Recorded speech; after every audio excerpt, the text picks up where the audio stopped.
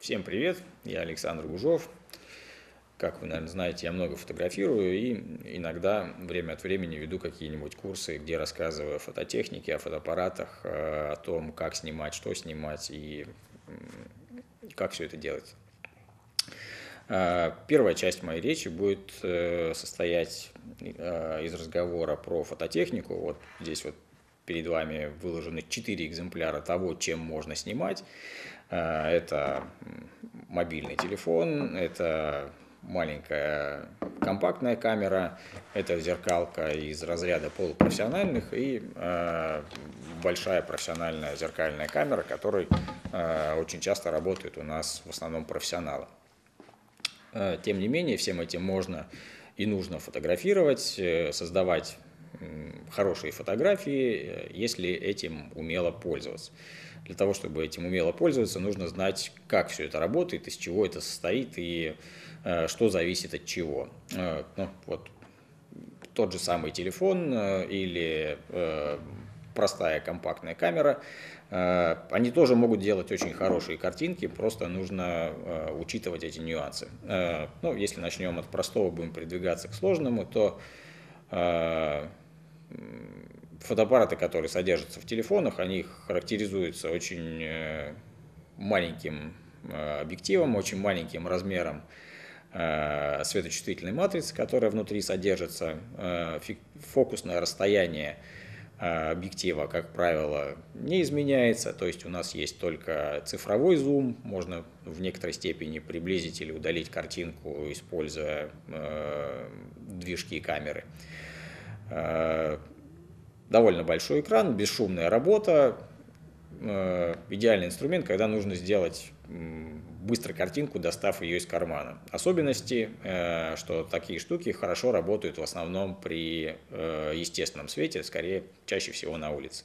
Второй представитель фотографической техники – это компактные камеры или иными словами мыльницы, которые позволяют делать картинку гораздо лучше, чем, чем телефон, э, и отличается уже переменным фокусным расстоянием, то есть объектив из, э, выезжает из, э, из камеры и позволяет приближать или удалять картинку в, в нужном вам диапазоне.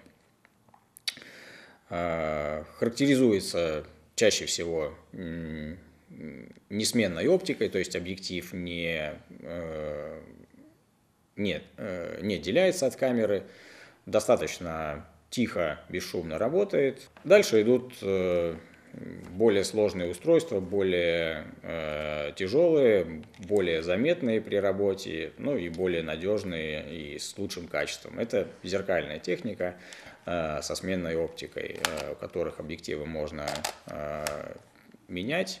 Объективы на таких камерах бывают с э, постоянным фокусным расстоянием, вот как вот этот вот, или с э, переменным фокусным расстоянием, э, как вот такой вот объектив на, на вот этой вот чуть побольше камере.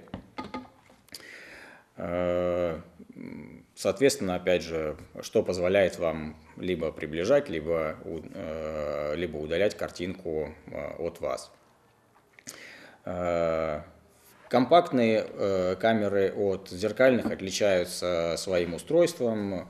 Э, самое основное, что зеркальные камеры позволяют видеть картинку через систему, систему зеркал, через видоискатель реальную картинку, которую только что которую вам предстоит сфотографировать. Э, в компактных камерах э, иногда видоискателя нету, и картинку вы видите на, на маленьком экранчике сзади, и чаще всего она тоже э, будет практически такой, как, как будет сфотографирована, но с учетом некоторых нюансов, например, запаздывание картинки, вы никогда не будете знать точно, когда, когда вам нужно нажимать на кнопку потому что на экранчике э, вы видите э, картинку э, действия, которого, которое уже произошло на самом деле.